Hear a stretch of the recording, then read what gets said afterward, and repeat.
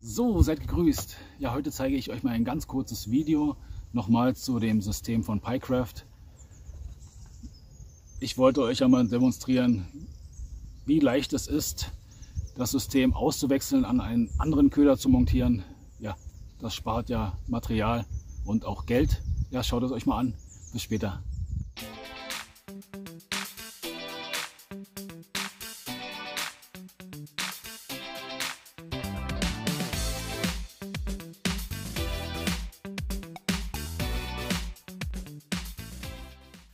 Hier zu sehen das komplette Stinger Rig.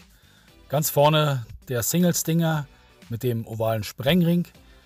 Dahinter das Stahlverfach, das hat 80 Lips, ca. 36 Kilo Tragkraft.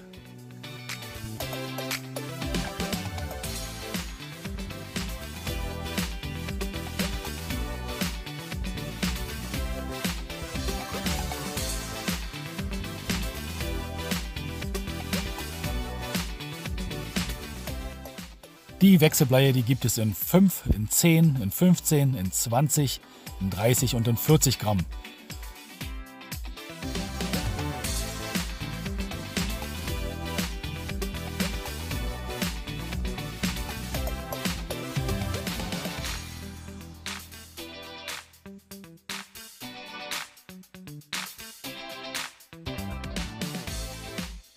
Und zum Abschluss zeige ich euch hier noch den Single Stinger.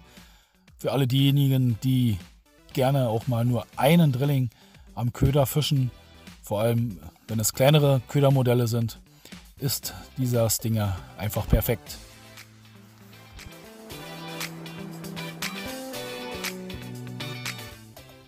Ja, wie ihr gesehen habt, es ist alles keine Zauberei.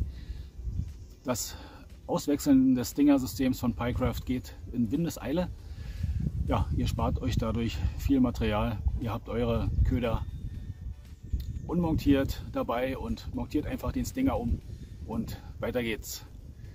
So, das war's dann für heute. Ich verabschiede mich. Macht's gut. Ciao, euer Nico.